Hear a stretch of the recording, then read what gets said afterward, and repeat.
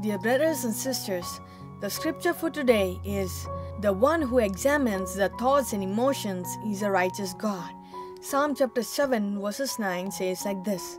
So what does Psalm chapter 7 verses 9 means? Like places that God wants to take you cannot be reaching by traveling down the road of your emotions. Sometimes we know God is leading us through places, but we tend to complain about the journey and how it makes us feel. But those rough patches along the way are not just meant to strengthen you, they are also meant to help you stay in character while under pressure. You're gonna leave to be able to stand up and stand out in the places that God is taking you. And your character are gonna have to stand up under pressure. Dear brothers and sisters, be blessed and be encouraged.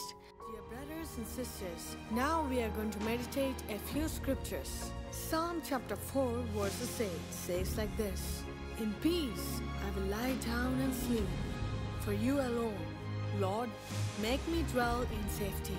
Proverbs chapter 3, verses 24 says like this When you lie down, you will not be afraid. When you lie down, your sleep will be sweet.